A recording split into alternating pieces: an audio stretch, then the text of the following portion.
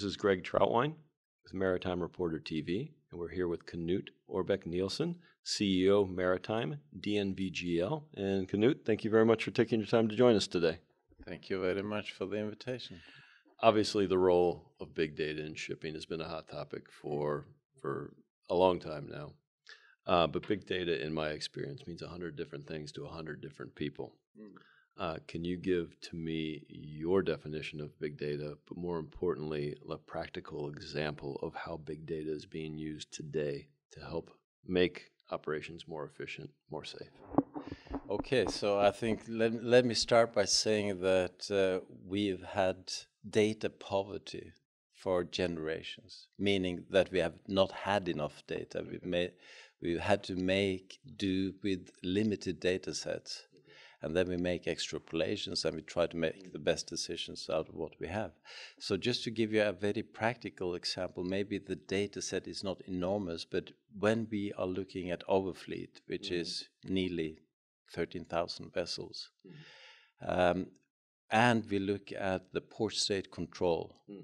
statistics, and we see that there are uh, overrepresentation of certain vessel types mm and certain items that are being inspected by the port state authorities.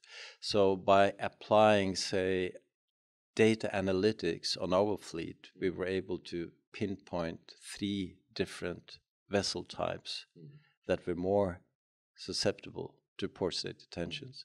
And for those vessel types, we could drill down even further and look at, you know, what are the detainable items. Mm-hmm. So based on this, say, uh, data analytics, we could then produce um, a checklist of mm. the most uh, detainable mm. items for these vessel types that we could share with the ship managers and the ship owners. Mm. And I think that is just a very practical example of how we can utilize, say, big data and okay. analytics.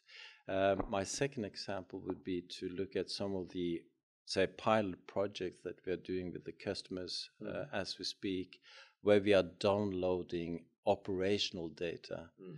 from uh, a relatively advanced vessel. And by looking at this operational data, we are able to extract knowledge mm. about critical equipment on board.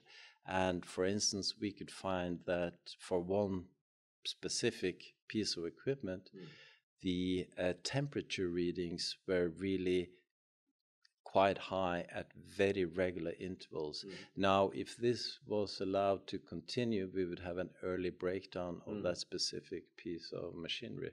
And by applying that second set of mm. glasses that I talked about earlier, is not only why things break down, but it's mm. what correlates with what.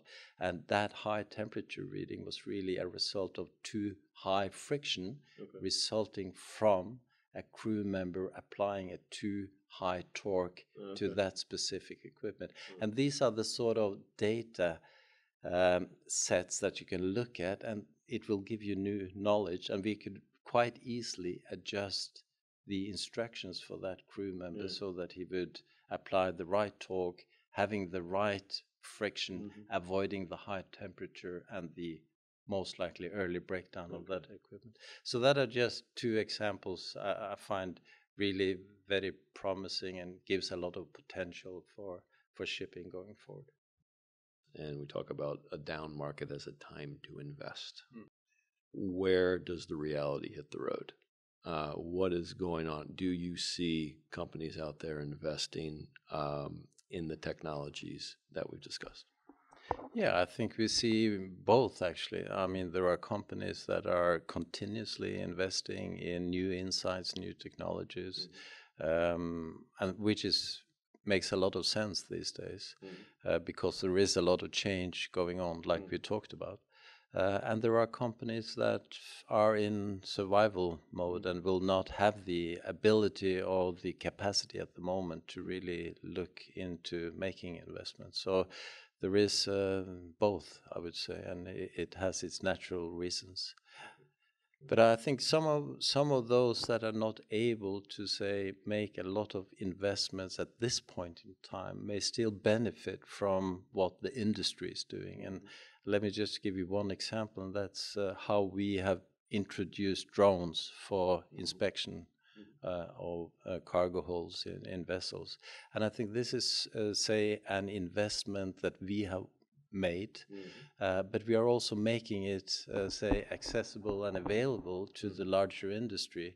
And if you're a bulker um, owner of a bulker vessel, you can uh, you can benefit from that technology being developed. Mm. And I think that is the good thing. It's also some of the, I mean, our purpose is to safeguard life, property, and the environment. Mm. But when we are investing into future technologies and future insights, mm. it's also our way of returning back to the industry some of the benefits of working with us over time. And I think just by using drones, the bulker owner can save time and money and that makes sense these days as well. This is Greg Trauthwein with Maritime Reporter TV. And again, we thank Knut for sharing his time and his insights with us.